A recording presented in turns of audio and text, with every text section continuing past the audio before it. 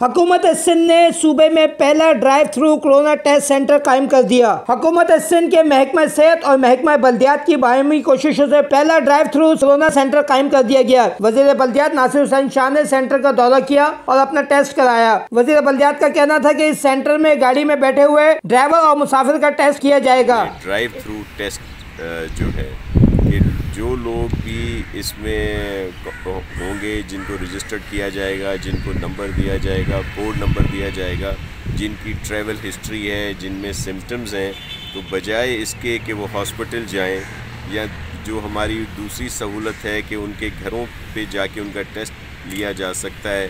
اگر وہ ڈرائیو پہ ہیں، تو سیفسٹ سائٹ پہ جا کے کسی اور کو ملے بغیر جو اصل تھیم ہے اس کی کہ سوشل ڈسٹینسنگ کی اور اکیلے رہنے کی، تو آ کے یہاں پہ اپنا ٹیسٹ کروا سکتے ہیں۔ وزیر بلدیات کے حملہ سیکرٹری بلدیات روشن شیخ اور ڈپٹی کمشنر ساؤتھ بھی موجود تھے۔ Asif Nafees, C one ten news, Karachi.